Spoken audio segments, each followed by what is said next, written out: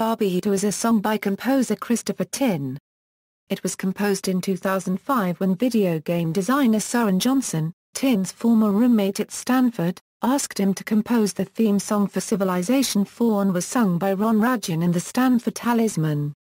For its re-release in Tin's debut album Calling All Dawns, it was sung by Ron Ragin and the Soweto Gospel Choir. In 2007, Baba Yetu was released by Alfred Music Publishing, and in 2011 it was rearranged by Tin for an SATB a cappella choir with optional percussion accompaniment. Awards and Achievements On December 5, 2010, it was reported that Baba Yetu was nominated for the 53rd Annual Grammy Awards in the Best Instrumental Arrangement Accompanying Vocalist, S, category, making it the first video game theme nominated for a Grammy Award. On February 13, 2011, it was announced as the winner of its category, making it the first piece of music composed for a video game to win a Grammy Award.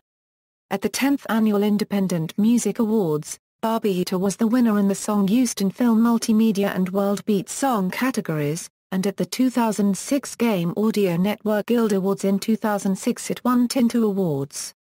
Baba Yetu has been performed at various venues and events around the world, including the Dubai Fountain, the Kennedy Center, Royal Festival Hall, the Hollywood Bowl, and the New Year a Euro unregistered trademark S concert of the 67th session of the United Nations General Assembly.